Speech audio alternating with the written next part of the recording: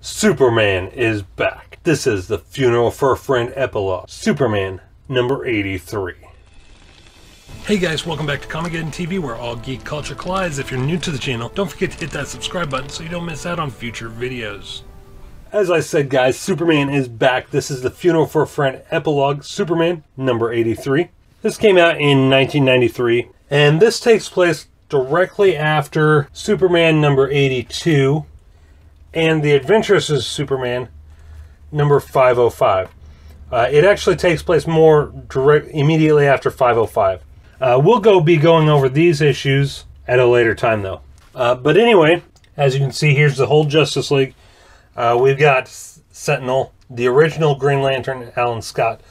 Uh, I believe that's Maxima there. Uh, we got Hawkman. we got Firestar, we got Doctor Fate, we got Captain Marvel, we got Obsidian, Wonder Woman, Metamorpho, uh, Black Canary, Green Arrow. I'm not sure who that guy is, but we got Green Lantern, Supergirl, Guy Gardner, and The Flash, as well as Jade and Superman. We open with Superman in Gotham City. Uh, this is the famous mulleted Superman. I'm not sure why they gave him a mullet, but it is what it is and he's having Commissioner Gordon summon Batman. Uh, Batman shows up and he looks a lot different than Superman remembers. Uh, you have to remember, Superman hasn't seen Batman in many months. Uh, he hasn't seen Batman since before he died. And during this time, uh, during the time when Superman was gone, that's when the whole Knightfall uh, story arc took place, which we'll also be going over pretty soon. So, and he realizes that he sounds different. Uh, he doesn't realize that it's not Bruce Wayne underneath the cowl; it's Jean Paul Valley. And he says he's going to use his X-ray vision, um, kind of under his breath. Uh, but Commissioner Gordon, he asks if he said something, and Superman just says, "No, just my imagination, Commissioner. Thanks for your help." So then Lex Luthor is with his team, Lex and Supergirl, uh, they're planning to go to Engine City. Uh, Engine City was the what the cyborg Superman and Mongul constructed on what used to be Coast City. They wiped out the entire city of Coast City, which is also what drove Hal Jordan insane to become Parallax. Uh, in order to build this engine city to turn Earth into a new world war, war world, uh, we get Lois Lane and Jimmy Olsen. Uh, Superman return. Uh, we get Mon Pa Kent. He swoops in, gives Ma some flowers, and she realizes their son is back. Uh, we get Cat Grant, the producer of her show. Then we get to Engine City, where Lex is on a mission to get to the city's main computer to retrieve some information. And he stumbles upon the Justice League is already there. They're planning on uh, removing Engine City so that uh, to create a memorial for Coast City. Uh, they're all trying to figure out how to do this.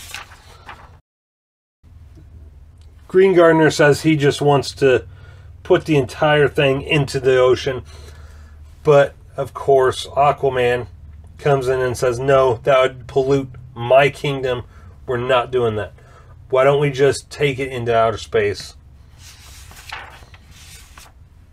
Get a nice scene of Hal Jordan right there. He's very emotional. He's trying not to let on as much though, but we know he's he's got some demons coming. Uh, then some of Mongul's forces are still in Engine City and they attack and force the Justice League to jump into action. Alan Scott leads some a group of ring wielders which consists of himself, Guy Gardner, his daughter Jade, and Hal Jordan, to try and catch all the um, debris and everything and take it away to keep it from falling into the ocean.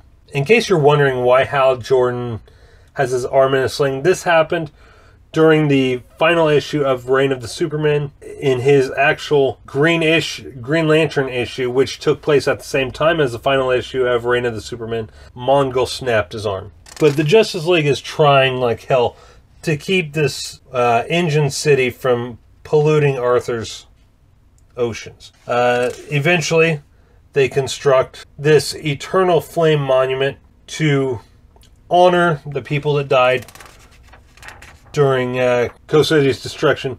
And then we end with Clark Kent coming to Jimmy's uh, apartment asking if the offer still stood uh, for them to be roommates. Of course, Jimmy says yes, and we end with it there. This was a pretty good issue. It's pretty memorable as uh, the first time Superman met uh, the um, Azrael Batman. Uh, it's always stuck in my memory, especially that scene right at the beginning. Uh, I, I I really like this issue. It really shows that you know they didn't ignore Jurgens didn't ignore uh, the events that took place during the reign of the Supermen, uh, but he brought him to a close. He honored Coast City's destruction and it really paved the way for we saw uh, the fire really ignite beginning to ignite in hal jordan to uh, become parallax. But anyway if you enjoyed this video guys make sure you hit that subscribe button so you don't miss out on future videos. I'm shannon for Comicgeddon tv the only place on youtube where all geek culture collides. Take care my friends